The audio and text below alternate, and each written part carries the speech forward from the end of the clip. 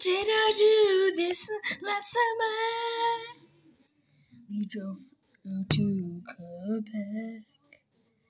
Man, that was bad for my back, but I did it a long time ago in 2023. Yeah.